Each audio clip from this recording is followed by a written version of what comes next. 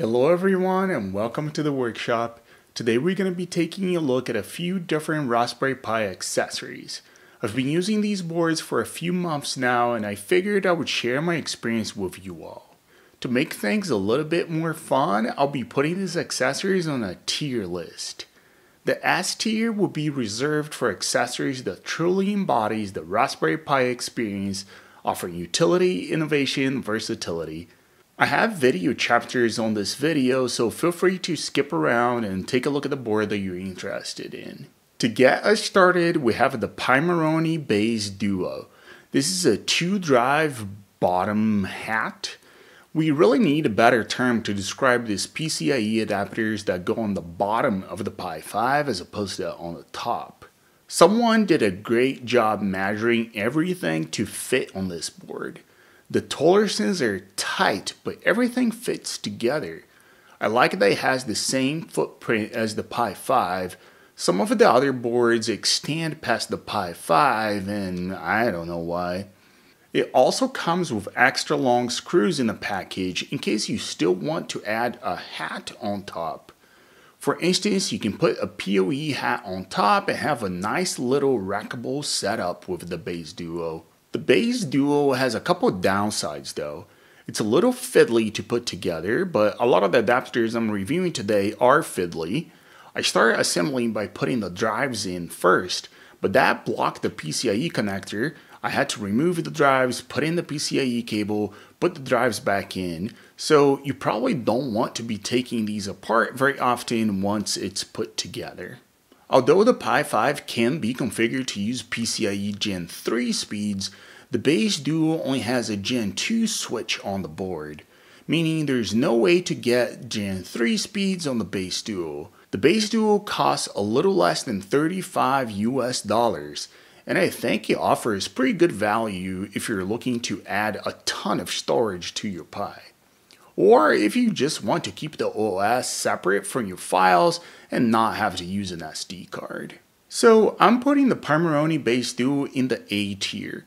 I don't think it's really worthy of an S tier because it basically doubles the size of the Pi 5 and it adds $35 to the total cost of your setup.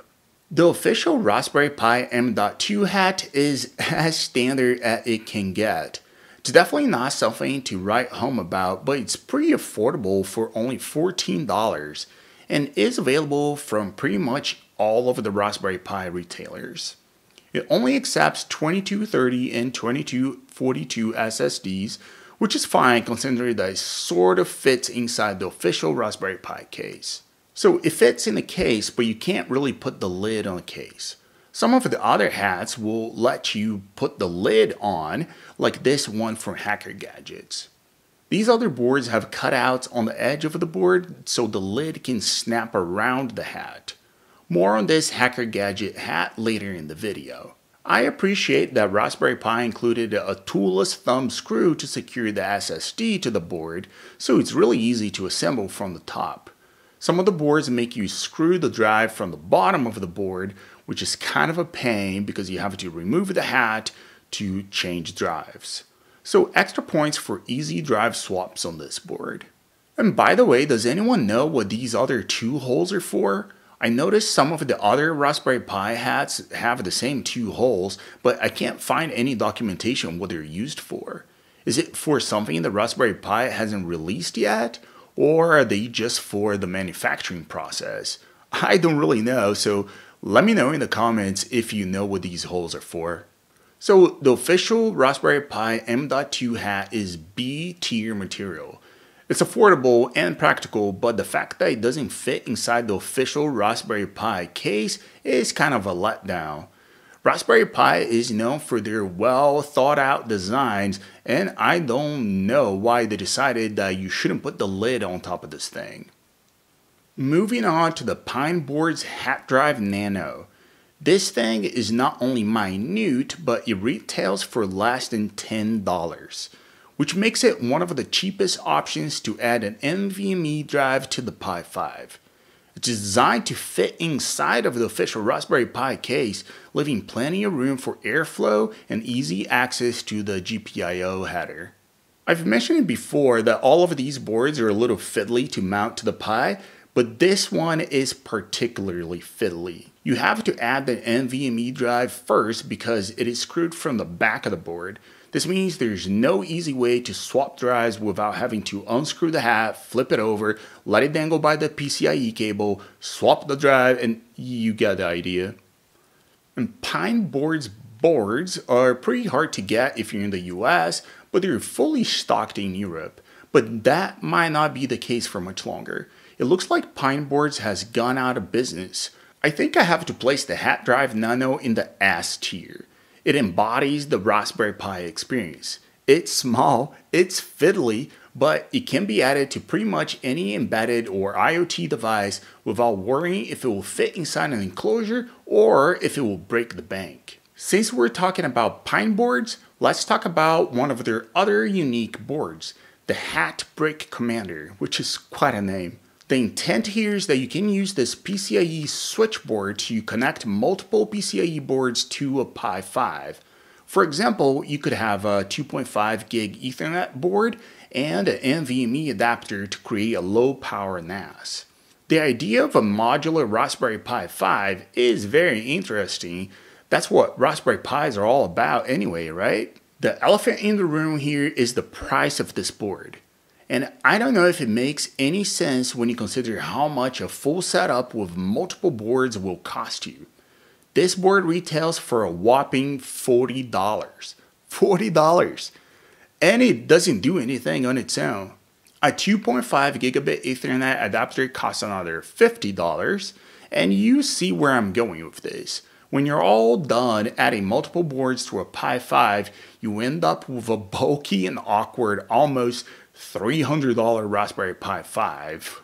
And don't get me wrong, I'm sure there are niche cases where the HatBrick Commander makes a lot of sense, but I don't see this board being of much use to the vast majority of Pi 5 users. And for that, I'll put in the C tier. Alright, let's take a look at a couple PoE hats. A lot of people think the PoE hats are only for setting up a server rack with multiple Raspberry Pis, which is cool, but PoE hats really shine when you have to tuck a Raspberry Pi in the corner somewhere where Wi-Fi sucks and there is no mains power. The Waveshare PoE hat was the first PoE option available for the Pi 5, so I jumped on it when I saw it available online. There are few better options on the market right now, and I'll explain the air coats in a second, but this one is one of the more affordable ones. It comes with this little fan and a small heatsink, and good to note that this is not compatible with the Pi 5 active cooler, which is a bummer since this fan seems to have a fixed speed and it's a little loud. It has another header that provides 12 volts up to 2 amps, but I'm not entirely sure what people will be using this extra header for. I certainly don't have a use case for it. The reason why I said in the market in air quotes is because one of the other options is Pineboards, which is out of business. HackerGadgets has another very good option that has a few other features, like being able to connect a USB power source to temporarily power the Pi while you remove the Ethernet cable, which is crazy. But HackerGadgets doesn't have this board listed on their website anymore.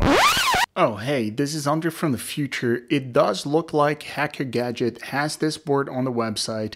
I can swear it wasn't there when I was doing the research and recording the video, but here it is on their website for $43.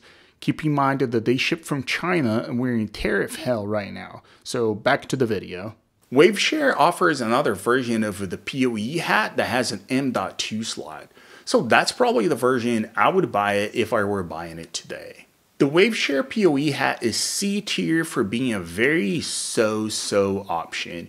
It works, but it could be much better if it was compatible with the active cooler. As for the HackerGadgets PoE hat, I would say it is S tier material since versatile, it fits inside the official case, but the fact that it might have never been available in the market is a bummer. Alright, Andre from the future again, yes, it is available on their website, so Although a little bit expensive, this PoE hat is awesome. Moving on to other hats. The Raspberry Pi AI kit is a bundle that includes the official M.2 hat that I already talked about and the Hailo AI accelerator chip. While large language models like DeepSeek are all the rage right now, this AI chip is no good with LLMs. This chip is only good for computer vision applications like object recognition.